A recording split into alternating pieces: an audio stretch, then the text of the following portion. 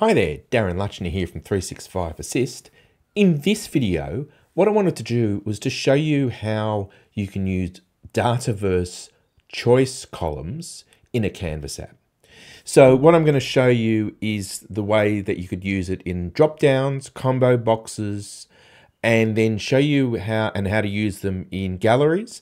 But more importantly, I want to show you how to use them in collections. I came across a bit of an issue when I was trying to use it in a collection and then try to do a lookup on that and it caused some errors. So I thought I'd make a bit of a longer video about how to use it as a whole and then at the end show you the particular issue I showed in trying to use collections with lookups.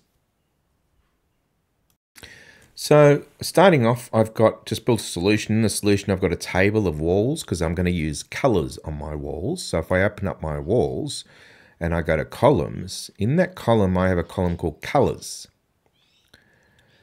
And what I'm going to do, that's a choice thing. So if I open that up, it goes down and I go down to sync this level with a choice. Color labels, I've called it. I specifically call it saying it's not just color on color. It's something a little different. If I edit the choice, I get here this thing called color labels, which is a choice. If I just jump out of this and cancel that, it actually in my solution, it's actually also here in choices. So it's not a table, it's just a set of choices. And again, there's color label. If I click on it, I get that six colors that I've created. This is custom made. I created those six colors myself. So now I'm in my Canvas app. And what I usually do here is add the table that I'm using, the walls table that I'm doing. So I added that. But this is where I get a little confused sometimes. And uh, hopefully we can fix this up. Where over here I've now got i am going to show you two drop downs and the two combos, the classics and the moderns. So if I go to the classic drop down, they're all pretty similar, just slight variations. The in the items uh, property, you want to have choices, which is a function and then use the color labels, which if I go back up here, it's either going to be the color labels in the column of colors, or if you're in a solution, you'll see the choices here, and that's the name there as well, color labels. I've done That's what I've used, just to make it different than the column name, I've used color labels. And so if you put that in, if I hit the Alt key, you can see it drops down all the six colors.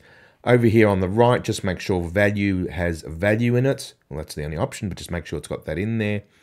Uh, the modern drop down's a little bit different. The same items um, property is the same, but over on the right, if I go to edit, you may need to put add the field called value in there.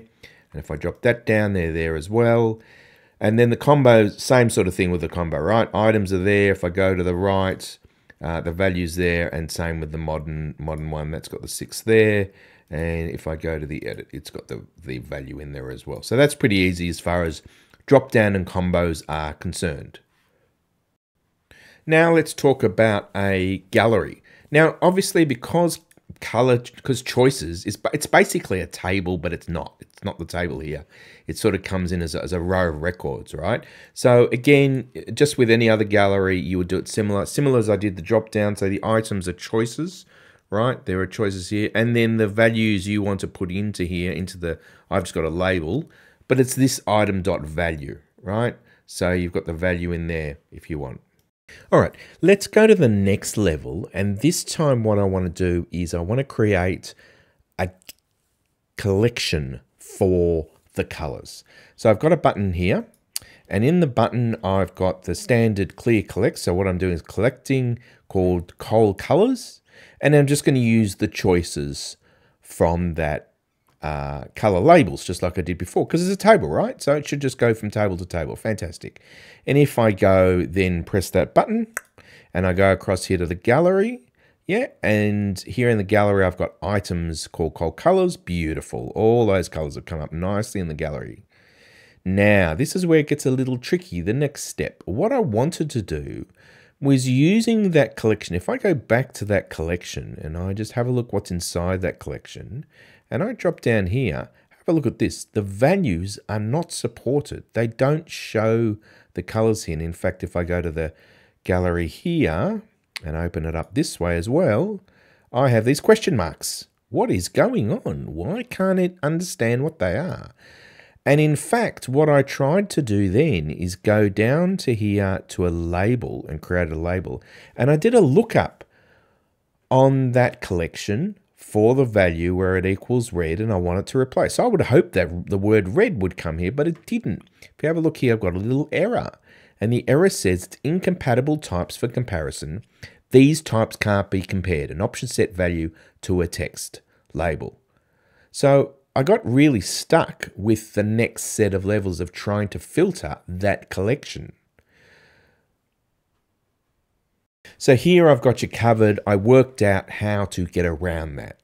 And it all comes down to the way that that collection is created. So here's a button for another screen, and I've created another collection. So clear collect.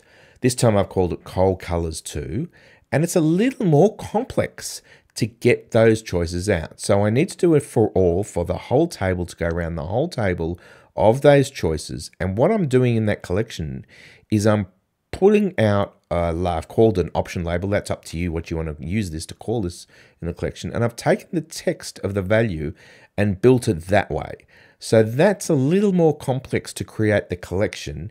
It still creates the collection. So now if I look at what's in the, so I did the same with gallery. If I go to the gallery in colors too, beautiful, behaves just the same. If I go back to the collection and open that up, this time when I drop down, ah, that's better. Now I get to see the option labels here. And if I go down to the options here and the collection here, and I view the table, beautiful. There are the options there. That's what I want to see. Therefore, when I do a lookup for that, uh, I can now do a lookup and get the, the word blue. This time I wanted the blue one, so I can get that. So that's a nice workaround. So this is the code you want if you are using choices in an advanced collection and advancing that way. If you just want to use it in the gallery, go for it. But if you start to want to use that for filters and lookups and stuff like that for a, a choice column, this is the code when you're creating the collection. This is the code you probably want uh, to get. So hopefully that helped you out. So I hope that helped you in understanding how to use choice Dataverse choice columns uh, across the board, especially doing those collections and lookups with that choice column. Um, please feel free to subscribe every so often I put a video that helps in, in this space. So uh, thanks for watching.